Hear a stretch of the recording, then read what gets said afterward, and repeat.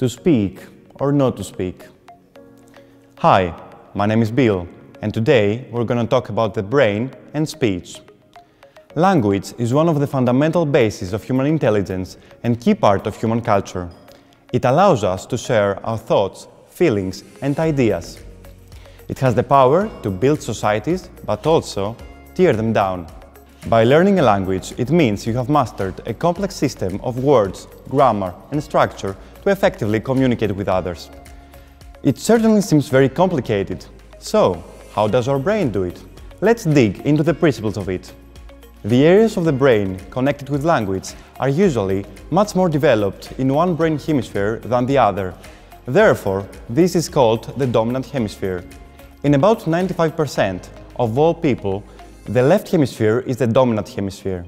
However, if this dominant hemisphere is severely damaged in early childhood, usually the opposite side will eventually develop dominant characteristics.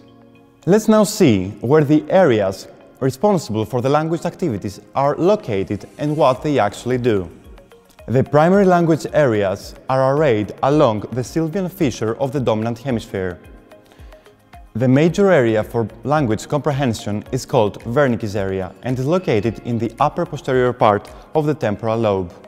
For instance, the written or spoken words are understood thanks to Wernicke's area. After severe damage in Wernicke's area, a person might hear perfectly well, but still be unable to arrange the words into coherent thought. Likewise, the person might be able to read the words from a printed page, but still be unable to recognize the meaning they convey. The speech is relatively normal and sometimes patients talk extensively. However, what they say makes little sense, like they speak in a foreign language. Next, we have the angular gyrus region, which is located posterior to Wernicke's area. This is important for the initial processing of reading. Specifically, the angular gyrus processes the information from the words that are read in such a way so that they can be converted into their auditory forms in Wernicke's area.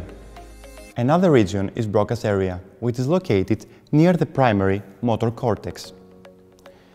Here is where the motor patterns for the control of the larynx, limbs, tongue and other accessory muscles of speech are planned.